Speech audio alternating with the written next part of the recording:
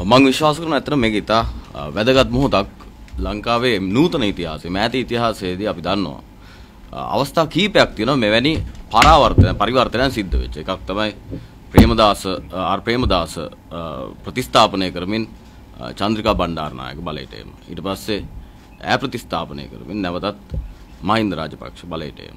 ඊට පස්සේ ජනවාරි 8 වෙනිදා සිද්ධ වෙච්ච විපර්යාසය නැත්තම් පරිවර්තනය. ඉතින් මේ මේ හතරෙම මං හිතනවා යම් ආකාරයක සමානකම් සහ වෙනස්කම් තියෙනවා. මේ ජනවාරි 8 වෙනිදා සිද්ධ වෙච්ච පරිවර්තනයේ තියෙන සුවිශේෂ වෙනස්කම තමයි සමාජ ක්‍රියාකාරීන්, බුද්ධිමතුන් සහ කලාකරුවන් නැත්නම් සමාජයේ ඓන්ද්‍රීය සංඝටක වැනි බලපෑම් සහගත සංඝටක මේ පරිවර්තනයට ඊටාම ඍජුව මැදිහත් වීම. දැන් ඒකේ තියෙන අනිත් කාරණාව තමයි දැන් මෙහෙම මැදිහත් වෙලා මේ පරිවර්තනය සිද්ධ කළාට පස්සේ සිද්ධ වෙච්ච දේවල් වලින් අපිට පේන්න පටන් ගන්නවා නැවතත් අර පැරණි පක්ෂාකෘතියෙන් ඇතුලේ ඒගොල්ලෝ බලය තහවුරු කරගනිමින් ඉන්නවා කියන එක. දැන් මං හිතනවා ඒකේ හොඳම නිදර්ශනයක් තමයි ලොකු ආందోලනයකට තුරු දුන්න පක්ෂ තුලම ප්‍රධාන පක්ෂ දෙකේ මහින්ද රාජපක්ෂට නැවතත් වර්මක් ලබා දෙනවද කියන කාරණා. ඉතින් මම හිතනවා ඒක ඒ ඒ පක්ෂ සංයුතිය ඇතුළෙම පුපුරාගේ වර්බුදයක් බවට පත් වෙනවා. හැබැයි ඒකෙන් එක දර්ශකයක් න එක තමයි මේ ජනවාරි 8 වෙනිදා විශේෂයෙන්ම සමාජ ක්‍රියාකාරීන් බුද්ධිමතුන් සහ එවැනි සමාජ කණ්ඩායම් බලාපෑම් සහගත සමාජ කණ්ඩායම් එකතු වෙලා කරපු මේ විපර්යාසය නැවත වතාවක් අර පක්ෂ තුල ඉන්න ප්‍රධාන පක්ෂ තුල ඉන්න ඒ අවශේෂ කණ්ඩායම් අතරට යාවි කියන කාරණාව. ඉතින් ඇත්තට මේක මේක මේකේ තියෙන අනිත් කාරණාවන් තමයි ඊටාම පැහැදිලි ලංකාවේ වෘත්තීය සුරක්ෂිත භාවය කියලා එකක් තියෙනවා නම් ඒක තියෙන්නේ දේශපාලනඥයන්ගේ ඊළඟ අනුප්‍රාප්තිකයන් කියන එහෙම සහ කලාකරුවන්. ඒ කියන්නේ තාත්තා දේශපාලන හිටියොත් පැහැදිලිම පුත්‍රයාට ඒ අනුප්‍රාප්තිය හිමි වෙනවා. ඉතින් මම හිතනවා මෙවැනි අර්බුදීය තත්ත්වයන් ඊටාම පැහැදිලි තවදුරටත් ප්‍රතික්ෂේප කළ යුතුයි කියන එක.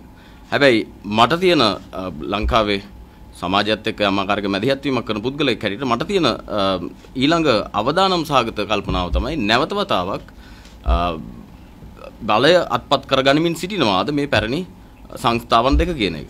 ඉතින් මම හිතනවා ඒ වෙලාවේ මගේ මට කලින් කතා කරපු මිත්‍රෝ දෙන්නා කිව්වා වගේ ඊට පැහැදිලි බලපෑම් සහගත කණ්ඩායමක් එහෙම නැත්නම් පාර්ලිමේන්තුව තුල ඉන්න ඕන ඊටාම් බලපෑම් සහගත විදග්ධ කණ්ඩායමක් මේ අර්බුදයට මැදිහත් විය හැකි.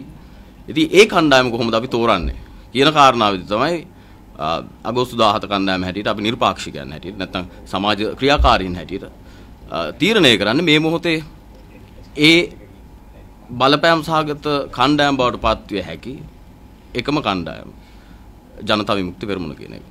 ඉතින් අනිත් එක තමයි මම හිතනවා ඉතා වැදගත් කරුණු කිහිපයකුත් මතුන එක තමයි තවදුරටත් කොහොමද මේ මේ මේ මේ විපර්යාසයට සම්බන්ධ වෙමින් නයින්ද්‍රීයව සම්බන්ධ වෙමින් මේ පවත්වා ගන්න කියන එක. ඉතින් මම හිතනවා පාර්ලිමේන්තුව තුල සහින් පිටත මේ මේ සංවාදය එහෙම නැත්නම් ඒ මොනිටර් කිරීම ඒ ක්‍රියාවලිය කරන්න පුළුවන් වෙන්නේ වැනි කණ්ඩායමක් එක්ක විතරයි. මොකද එක පැත්තකින් අපි කතා කරන භාෂාව සමහරට අනිත් පක්ෂ කතා කරන්නේ නැහැ. ඒතකොට මම හිතනවා මේ භාෂා සාම්‍ය එහෙම නැත්නම් ඒ අදහස් වල සමපාත වීම ඈ විරුද්ධ වීමට ඇති එකඟත්වය කියන කාරණාවන් ටික ජනතා විමුක්ති පෙරමුණත් එක්ක අපිට තියෙවි කියන එක. ඉතින් ඉතා පැහැදිලි ජනවාරි 8 වෙනිදා සිද්ධ කරපු විපර්යාසය මේ සමාජ කණ්ඩායම් සහ ජනතාව එකතු වෙලා. ඒක නැවතත් පක්ෂ ප්‍රධාන පක්ෂ දෙකේ වාසියට එම නැත්තම් දිශානතියට හැරෙන්නට ඉඩ නොදී ඒක පවත්ව ගන්න එකයි මම හිතන අපි කළ යුත්තේ. ඒ සඳහා කරන්න තියෙන මේ මොහොතේ. තාර්කිකම දේ තමයි ජනතා විමුක්ති මුණ වැඩි හිස් ගණනකින් පාර්ලිමේන්තුවට යවන එක. ඉතින් මම කෙනෙක් තමයි අපි කළ යුත්තේ.